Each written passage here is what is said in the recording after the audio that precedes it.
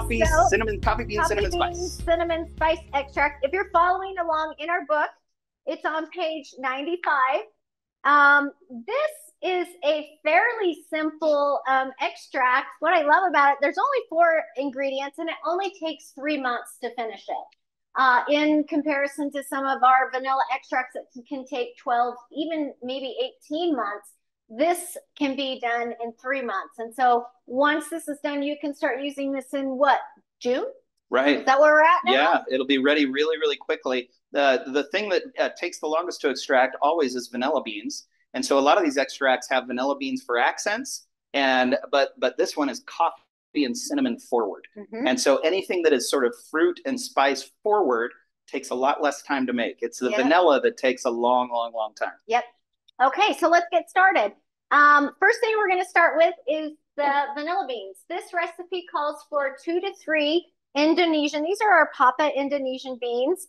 Um, they have a nice um, dark, earthy um, flavor to them, and most of the time they're a little bit bigger.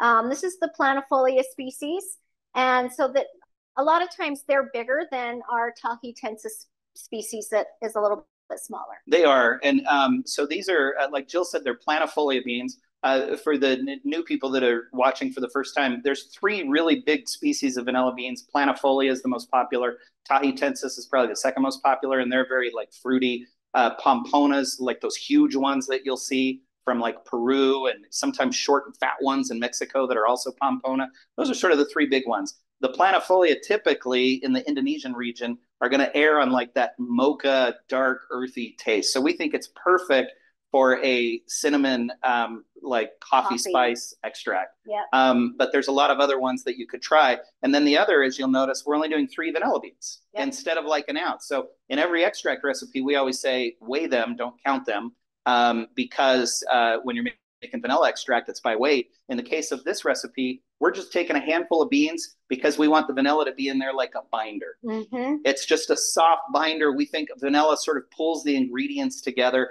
and it makes the coffee a little creamier. It makes the cinnamon a little creamier. So they're not there to make like a vanilla extract. They're there to just add a vanilla hint. Yes, kind of like salt, right? We add a little salt to everything. That's how I see vanilla. Vanilla is like salt to me. I add it to everything. A little sprinkle. yep. There you go. Okay, so I'm just gonna slice it down the middle to open this up. I do like all the caviar in there, um, especially since it's only going to be in here for three months. I um, want to get everything I can get out of these be- beans in the shortest amount of time. So I am gonna slice them down the middle, and then I'm just gonna cut them in threes. I want to make sure that they fit nicely at the bottom of my jar. And if they're a little bit bigger, I might even cut them in fours just to get those little curlies too. And so, um, just to kind of expand on why we're cutting for some of the new people, there's a lot of uh, discussion out there of do you slice your beans open or do you leave them whole, and what are the pros and cons? All of the vanilla taste comes out of the pod of the vanilla bean. Very little comes from the seeds. We call it the caviar that's on the inside. And so, we what we're trying to do when you slice it open is you're getting more surface area contact of the alcohol with the pod, and the pod is what holds that wonderful oil. It's called vanillin and the vanillin is sort of the sweetness that comes out that we're trying to get into the extract. So there's um, a, a, lot of discussion online on what's better and why, and features and who, what should you do. We we think that there is some science that supports cutting them open, get the alcohol on the inside and out. It'll help it extract just a little bit faster than if they're whole. Um, and uh, but it, the downside is that the caviar will spill out. Now I say it's the downside.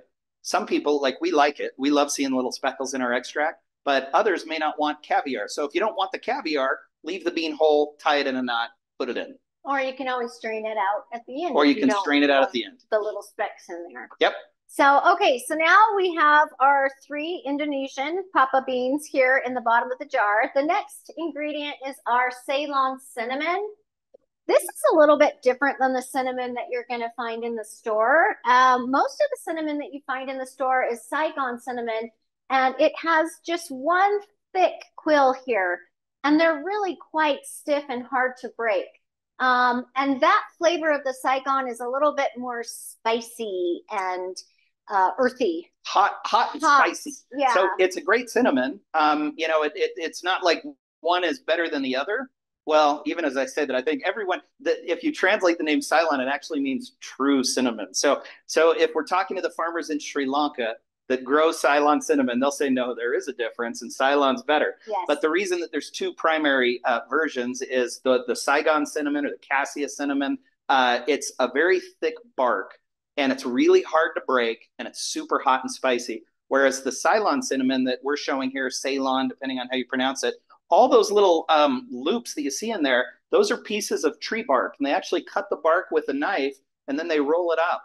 And it's such a fine bark that you can cut all these little quells and they're all wrapped up tightly in there and they break really easily, even so though there's many of them. Yeah. And when you break them, it releases the aroma. And instead of hot and spicy, you still get, of course, the cinnamon taste. Yes. But there's sort of like the soft, fruity undertone it's, that it's a little milder. It's a little milder, but it makes Ceylon cinnamon, um, you know, really kind of a special, not your usual cinnamon experience. Yes, and and if you want to use the other in this recipe, it works well. Easier to find. You're welcome to do that. It'll be great. Yep. So what I'm going to do with this cinnamon here, I do want you to see all these different like like layers in here. The little it's so different than regular cinnamon. And like Paul said, you know, it, I can smell a little bit of vanilla right now, but when I break this in half, look how easy that was. I hardly had any pressure there and I broke it in half and you can see now all of those different um, levels in there or um, layers. It smells so much stronger now that I've that broken it in half. I, it's just filling the whole room now. Yeah, I couldn't smell it when you were holding it. Now that she broke it, like the smells come over here. And so it just releases all of the aroma of what the Ceylon is. So there's something really special in, in our opinion about Ceylon cinnamon. But again, all of them work. I, I also need to say, um, you see how like those little wraps are? When you put them in, they'll sort of unfold. And then when you take them out to dry them, they'll fold up again. And someone posted a picture in our Facebook group, uh, the Making Vanilla Extract by Vanilla Pura. If, if, you're not a member, you should go over and join. There's like 108,000 people there, and all we talk about is extract making 24 hours a day, seven days a week, 365 days a year. It's and, it's a party. Yeah, it is. It is. And um, anyway, someone removed their cinnamon, and it's like the quells had opened up while it was in the extract, and then when they took it out, somehow they missed it, but the quells then had dried, and they wrapped up uh, a vanilla bean. So then, as they were trying to like grind the cinnamon after they dried it to make powder, they ran into like a whole vanilla bean that the cinnamon had wrapped around somehow when it was dry. I don't know how that happened, but I've never seen that before. So check inside your cinnamon. You might have a hidden vanilla bean yeah. when you take it out. What a surprise.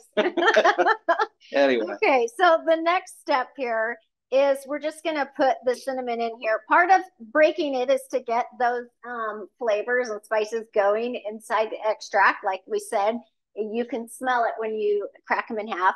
And then also, um, everything needs to be submerged. Once you add your alcohol, um, everything needs to be submerged or nothing's going to extract out of those ingredients. And so you, um, you want it small enough um, so everything can be sub submerged. Yep, really okay. important. If it's not submerged, um, there's there's always a couple of things that people will talk about. One, they'll say it's not submerged. Is it going to grow mold or something? I've, I've never seen that. I've never seen, you know, mold grow like above the alcohol line. Um, so that hasn't really been a problem in our experience. But the point of if it's not submerged, it's not extracting.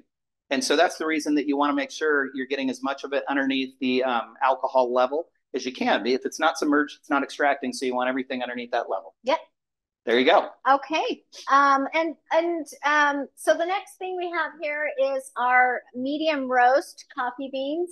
Um, the recipe calls for medium roast. It, it's a milder flavor. If you like dark roast coffee, um, try it if that's your favorite. Um, I noticed I've made it with both, and the dark roast is a little bit more forward of coffee, kind of drowns out the cinnamon and vanilla a little bit more. So I have found that medium roast works best um, if you want to get all those flavors in there. Um, also brand wise, I don't I don't have a specific brand for you. I get my coffee locally here. Um, I have a, a couple coffee shops here locally. Alpha Coffee, that's just at the bottom of the Cottonwood Canyons here. Um, it's owned by a veteran, also a woman. We love um, supporting our um, local community and small businesses. So, um, you know, we try and um, support them, especially with my coffee problem. I have a coffee problem too. and then also in Draper, we have um, Alpha Coffee, and they are fabulous also. So if you have a local coffee shop that you like, um, go in and get your beans there. Um, or if you have one at the store that you like, go on, go ahead and and and you know share um, what your favorite coffee is. We'd love to hear.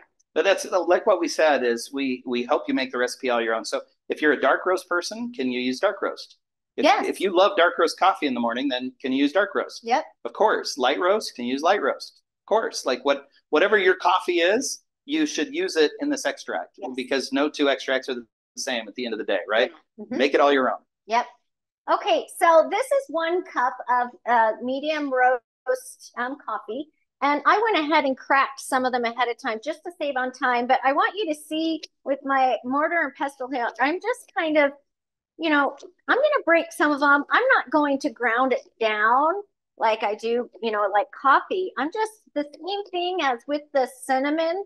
I just want to get things activated, get things going, open up these beans. There's oil on the outside and the inside.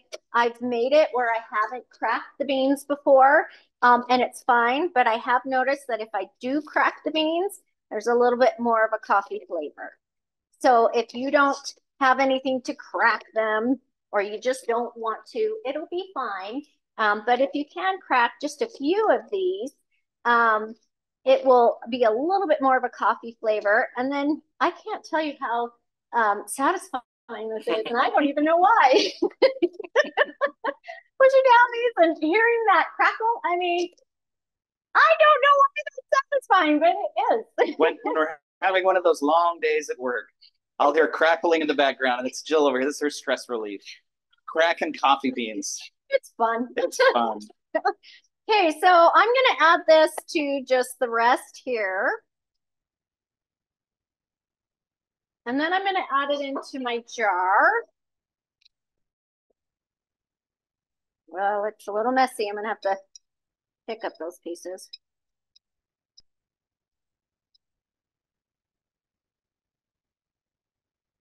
Okay. Hi, Jill. Just whilst you're doing that, um, a quick question for the moment. Connie asks if she were to use a dark roast, um, would you recommend using a little less beans so that they don't um, overpower the other flavors and notes? That's a great idea. You could use a little less bean and then also um, maybe add a little more cinnamon um, if you, uh, you know, want to make sure that uh, the coffee, you know, maybe too strong but it, I think it really, again, depends on your preference as it relates to the coffee taste. If you're trying to really go coffee forward and you like a strong dark roast, then the point of using a dark roast coffee is you want to get more of that like powerful coffee taste forward. Um, and so the reason we're using a medium roast is we're trying to find a balance between the coffee, the cinnamon, and the vanilla. We want all those flavors to kind of come through a little bit. And you like medium roast. And so, I mean, just uh, frankly, it's that that simple that we're using a medium roast because you like medium roast and it, it allows for those other flavors to come forward. Yeah. Great question. Thank you, Connie. Thank you, Connie. Okay, um, so we've got um, all of our ingredients in here, and now all we need to do is add the vodka. Yeah, let's um, very uh, quickly, let's kind of give a high level spirit recap for um, you know the the new members that are watching. Whenever you're um, talking about alcohol, there's three different big broad categories that we look at. All of them could work for this extract. Um, vodka, we like. Vodka is sort of our tasteless category, and that's why we're using it. When we want the alcohol to simply work as an extractor and not uh, add to the taste at all, uh, typically we go with a vodka for that reason. So, and we'll talk about the vodka that we chose and why here in just a second. Um, the, the next category are rums. Rums are sugar based. Um, some vodkas now are actually sugar based as well. Um, and so with a sugar based, you get a little bit more sweetness of the sugar that comes through. A white rum is virtually, it's kind of like a vodka, uh, or a sugar based vodka is like a white rum. So they're, they're kind of crossing over now. They're, they're going to be tasteless, but maybe with a hint of a little bit more sweetness, and they can be really good. Then you get into like your dark rums. They're sweet, but they're smoky. Um, and so you're going to add smokiness to your extract. Now, in the case of a coffee bean cinnamon extract, a rum could be a great thing. Even a spiced rum could be a great thing. So those are all options that you have available. And then the last one is sort of that whiskey bourbon category.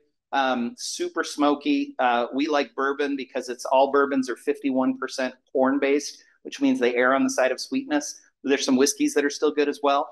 Um, but they're smoky. They take a little longer to extract. But if you like the taste of whiskey and or bourbon, and you think that that would marry well with the coffee beans that you're working with, those could be explored too. Yeah. But we chose vodka in this case because we want the coffee, the cinnamon, the vanilla. Again, our whole point is we're trying to find sort of a delicate mixture of coffee, cinnamon, vanilla, and we want it all to be presented. We want the story to be all three of those things in harmony. Yes. Not not to have just a powerful coffee or a powerful bourbon. We we want them all to kind of present themselves. Yes. Right? That's the plan. Did I say that well? You did. Was that well a good done. summary? How about yes. that? okay, so the vodka that we chose is Wheatley vodka. And this actually comes from the same distiller as Buffalo Trace bourbon. Um, and um, it, it, it's a pretty good vodka. It's middle of the shelf. It's not too expensive. Um, but it's a it's it's a good vodka. We have a list on our website, the top 10 vodkas to use in your extract.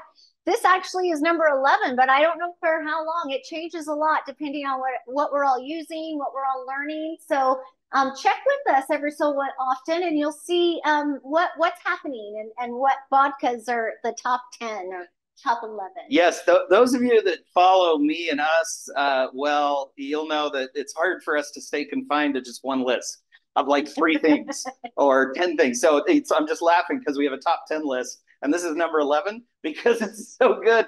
We had to put it on the list, but we kept the others. So, like Jill said, we're constantly trying new spirits. And so we have a top 10 bourbon list and a top 10 rum list and a top 10 whiskey list and a top 10 vodka list, and then a top 10 overall alcohol list. And as you're looking at those lists, they change constantly. In fact, we have a new bourbon coming in that is aged in a vanilla extract barrel.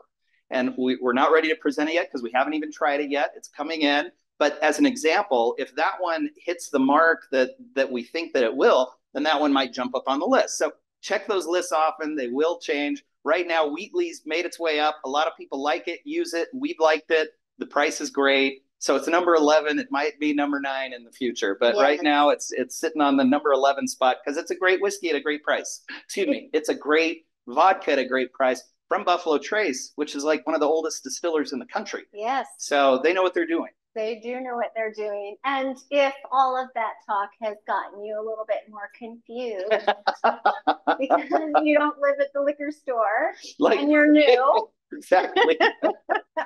um, vodka's a really nice place to start. And then also, if you have our book, it explains what all the different alcohols are. So you can just read through it when you want in your own time because it can be overwhelming. So, but a nice place to start is always vodka. There you go. Tasteless. So well said. Good summary. So we've measured it? We've measured it. it I have eight ounces of um, vodka, and I've got my little specks in here because those are for my coffee beans. I use the same thing, so don't worry. That's not you know something else there that I'm adding into the pool, right? So we're adding it all in, pouring it over the top, and what can we expect? We'll see uh, well, with the coffee beans and everything this else. This is what's interesting, and I hope you can see this. I'm going to take the funnel out. Um, what happens when you put the the vodka in? And i don't know did can you get this? It looks like um that the coffee beans on top are not being um, ex extracted because they're just sitting on the top. And what happens is is um, they haven't been um, the the alcohol hasn't been absorbed into the beans yet. So they will float give it a day maybe two and they will sink to the bottom. So what I usually do is if I had my lid. Oh, did we lose the lid? We lost the lid. Oh, anyways. It's okay. Maybe so just put your hand over the top. No, what I do is what I'll do is I'll just shake it. Here, I'll steal this guy's lid. There you go. So I'll just oh no, he's that's a different that's one. Different bottle. Yep. Anyways, so what you'll do is you've got all your ingredients here now. You've got eight ounces of vodka in here. Um, shake it up. And then what you'll want to do is you'll want to label it. And I always, um, start off with putting the date that I started it on the bottom. And I'd show you that if I could find the lid. so I'm going to put the title of title of it on here. Now I use masking tape while I'm in the process because these change out. Um, and I hate stickers and I don't want to have to deal with that. So it, until it's finished, I just leave on my masking tape here. And so I've got coffee bean, cinnamon spice.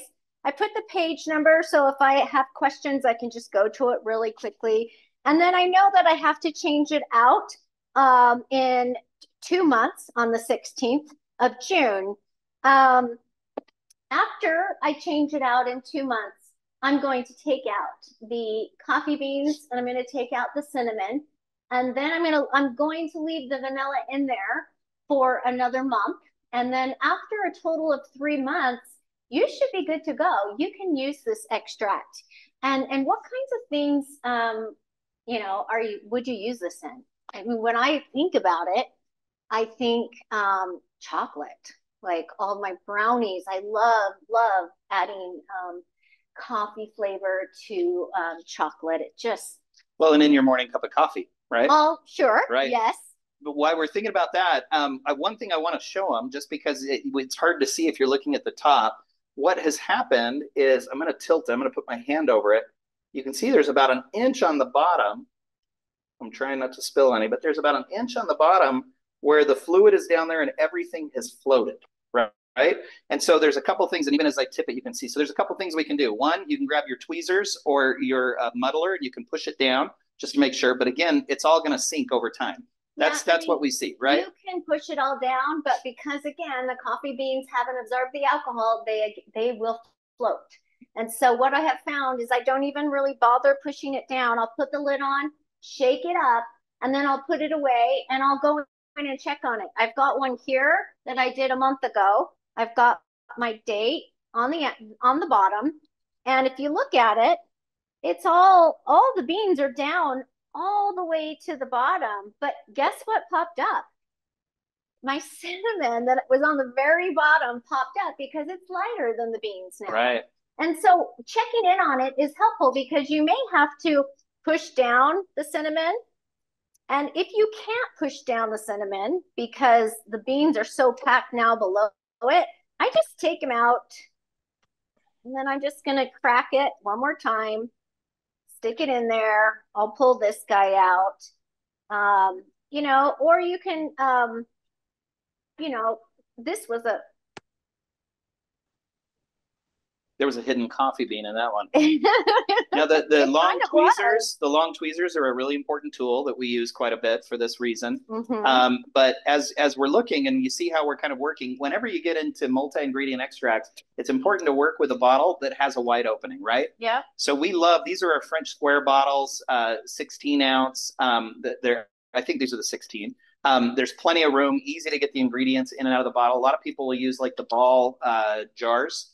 Um, Those are helpful because you can also get uh, fermentation weights and you can just put it down on top and that way, um, you know, the pressure is coming down, keeping everything extracted. The thing go. I like about these French squares are is they just fit in my cupboard a little bit easier. They take less space than um, the canning ball jars. And so, um, but when you're using multi ingredients, it getting things in and out and submerged, sometimes it's just easier to go with a canning jar.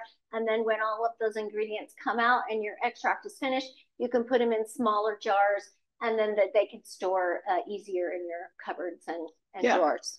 And so, and then when the extracts are done, then we get into like the real decorative jars. If you're going to gift the extract to someone, there's decorative jars we use, just useful jars. Like our kitchen jars are really kind of boring looking, but they're functional, right? Like we like those kind of eight and a half ounce square ones with just the twist cap, or we can put the plug in it and pouring spout. Makes it really easy to uh, to use. But that's that's the idea. Now, what we were saying uh, to those of you joining us for the first time, uh, we're going to in two months we're going to come back together. We're going to have another workshop similar to what we're going to be doing here with the bananas and the oranges. We're going to change those recipes or those ingredients out two months from now to show everyone how that works. But if you're following along, if you've got the book, the instructions are in the book.